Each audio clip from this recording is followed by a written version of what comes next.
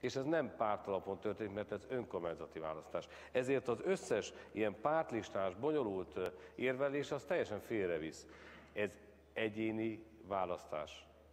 Ha a szocialisták, ha a Jobbik, ha az LNP, ha a Fidesz olyan hiteles embert állít abba a körzetbe, nyőzni fog. Mindegy az egyébként, hogy a szocialista pártnak éppen a renoméja micsoda. Ha pedig nem jó az a jelölt, nem bíznak benne az emberek, akkor mindegy, hogy hogyan fényezik magukat mellette a szocialisták. Ez éppen ezért, ez a választásrendszer teljesen abszurd abból a szempontból ezt tárgyalni, mint hogyha itt párt listákra lehetne egyáltalán szavazni, nem lehet csak a fővárosban és a megyei önkormányzatoknál, tehát az önkormányzatrendszer második szintjén van tiszta pártlista. Egyébként ezt a rendszert nem mi találtuk ki, hanem a szocialisták, bizony emlékeznek rá 94-ben, nulla konzultáció után, emiatt eltolva az önkormányzati választásokat is. Ma lényegében annak a ígéretünknek szeretnénk eleget tenni, hogy csökkentjük az önkormányzati képviselők létszámát. Köszönöm szépen. Köszönöm, képviselő úr. Köszönöm, képviselő úr. Két perces felszólással következik Ivádi Gábor képviselő úr LMP képviselőcsoportjából. Köszönöm szépen a szót, elnök úr. Kővári képviselőtársamnak szeretnék annyit mondani, hogy biztosan valamilyen nagyon erős civil szervezetnek a vezetője, és nem okoz majd gondot neki a megyei listaállításnál az, hogy az új tervezet értelmében 9. szakasz második bekezdése értelmében a 0,3%-os küszöböt fölemelték 1%-os küszöbre, és legalább 2000 választópolgár ajánlását kell összegyűjteni ahhoz, hogy egyáltalán listát tudjon állítani valaki. Remélem, hogy megerősödik a civil társadalom annyira, hogy mindenhol ilyen szervezetek legyenek. Köszönöm szépen!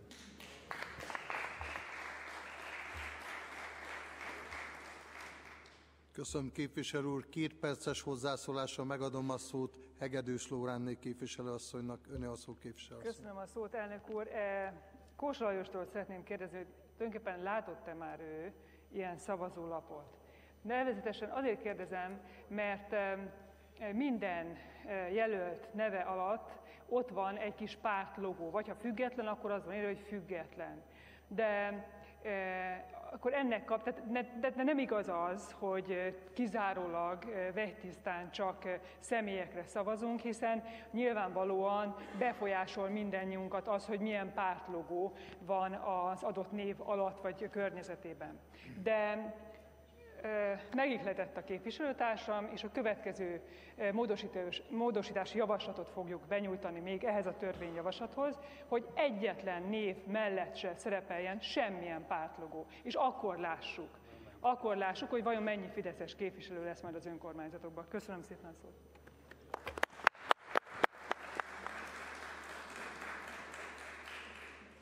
Köszönöm képviselő asszony. Karácsony Gergely képviselőnek adok szót kettő perces időkeretben. Öné a szó. Köszönöm a szót. Csak két rövid megjegyzést tennék Kövári képviselőtársamnak. Az igaz, hogy ezt az 5%-os küszöb ez nem tűnik nagyon magasnak, de ha megnézzük főleg a kisebb településeken, a tizernél nagyobb életszámú városokban, ahol már ez a rendszer működik, de még viszonylag kisebb településeknél, ott annyira kevés a kioszható kompenzációs mandátum, és egy olyan matematikai formula van a rendszerben, ami egyébként szintén egy örökség a 94-es módosítástól, hogy az a, az a, a tényleges küszöb, a politikatudomány úgy hívjuk, hogy az implicit küszöb, az 8-9 környékén van, tehát valójában sajnos a helyzet ennél bonyolultabb, mint ahogy mondta, ami persze vállalható, tehát lehet amellett érvelni, hogy ez helyes, én amellett érvelek, hogy ez a küszöb túlságosan magas. Az pedig, hogy itt egy tisztán egyéni választásról van szó, hiszen a, a párt listákra nem is lehet szavazni, az a logika az szerintem két, szem, két, két dolgon is megbicsaklik. Az egyik az, hogy akkor viszont miért van kompenzáció, vagy hogyha megint a, a sokat már idézett javaslatra visszatérünk, hogy akkor miért van az, hogy a 50% fölötti szavazatarányt azt kompenzációs listán megkapja ez a párt. Másfelől pedig én hosszú évekig voltam választási kutató, pontosan lehet tudni azt, hogy a, sajnos a magyar választópolgárok egyedül a polgármester választásnál veszik figyelembe a jelölt személyét.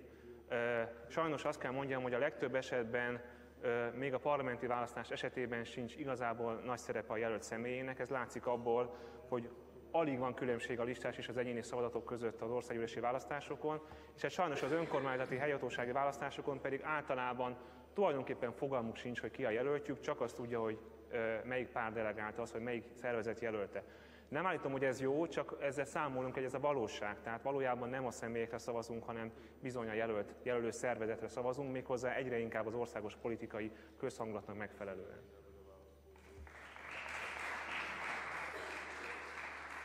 Köszönöm képviselő úr. Most kettő percre megadom a szót Lenhard Balázs képviselő úrnak jobbik. Köszönöm szépen. Én is azt szeretném megerősíteni, hogy a mostani szavazás az pontosan bebizonyította, hogy az emberek azok nem az egyénekre, hanem a pártokra szavaztak és a listákra. Tehát, hogyha összehasonlítjuk a, az eredményeket ugye az egyénire és a, a pártokra leadott szavazatnál, akkor ez pontosan látszik.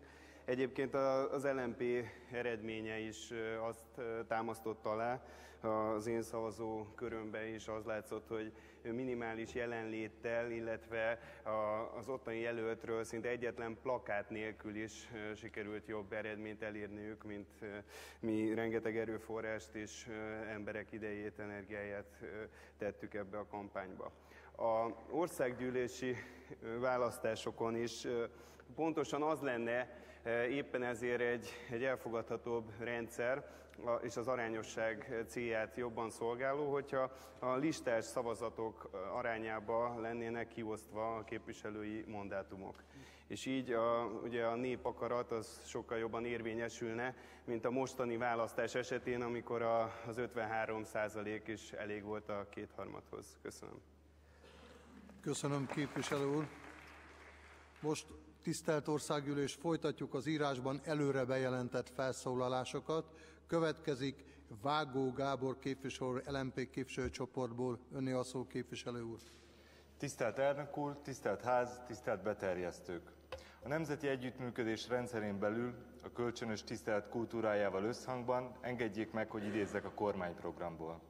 Az új társadalmi szerződés a megosztottság helyett együttműködést, magánérdekek érvényesítése helyett a közjó szolgálatát, közös nemzeti ügyeink erős és hatékony képviseletét követeli. A jelen törvényjavaslat olvasatakor azonban erősen felötlik a kérdés, a Fidesz rövidtávú magánérdekéről vagy a közjó szolgálatáról van ez szó. Lokálpatrióta vagyok. Vagyunk itt a ház falé között, és szerte az országban sokan, akiknek sokat számítanak a szűkebb pátriájának ügyei. Az előttünk fekvő törvényjavaslat sokunknak fog majd gátat szabni, hogy érdemben tudjuk építeni, segíteni városunk, megyénk fejlődését. A jelenlegi törvényjavaslat benyújtásával a kormányoldal a gombhoz varja a kabátot. A jelenlegi pártszimpátiákhoz igazítja a választási rendszert. Valóban radikálisan csökkenti a megyei és helyi önkormányzati képviselők számát. Ám a helyi fideszes képviselők száma nem változna érdemben.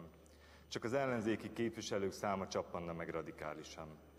Hagy szolgáljon példaként Kecskemét, feltéve, de meg nem engedve, hogy, az egy, hogy a szavazatok az egyéni jelöltek támogatásával arányosak.